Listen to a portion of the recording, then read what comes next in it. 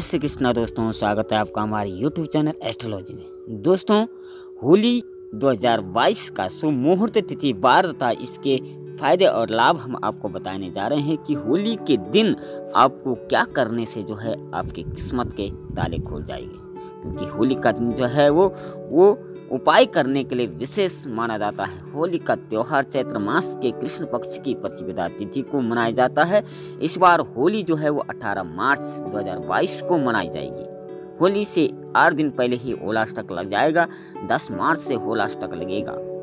इस दौरान किसी भी तरीके के शुभ कार्य नहीं किए जाते। होली से एक दिन पहले होली का दहन की परंपरा है। फाल्गुन मास की पूर्णिमा के दिन बुराई पर अच्छाई की जीत के रूप में होलिका दहन किया जाता है। अब जानते हैं कि इसका शुभ मुहूर्त क्या है? तो होलिका दहन का शुभ मुहूर्त सत्रह मार्च, गुरुवार। होलिका दहन शुभ मुहूर्त रात नौ बजकर बीस मिनट से देर रात दस बजे तक रहेगा। अब इसकी विधि क्या है?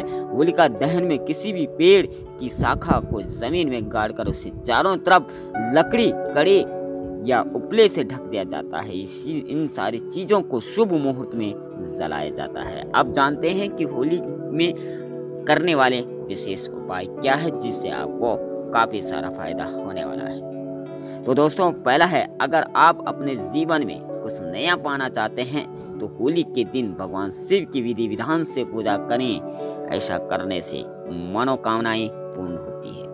दूसरा है।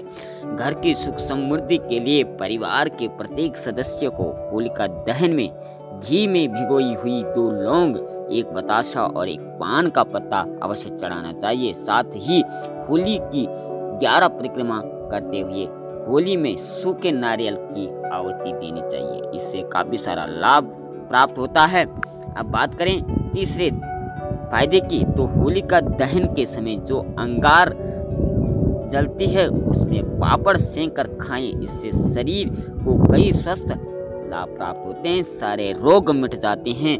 और चौथा है होलिका दहन के समय, होलिका की सात परिक्रमा करें, इससे अच्छे पुण्य प्राप्त होता है। आखिरी और पांचवा हम आपको बता रहे हैं कि होली के दिन से शुरू करके बजरंग बाण का 40 दिन तक नियमित पाठ करने से भी आपकी हर मनोकामना तो ये थे होली से संबंधित कुछ महत्वपूर्ण उपाय, जिसे करने से आपके जीवन में अवश्य ही सकारात्मक प्रभाव पड़ेगा।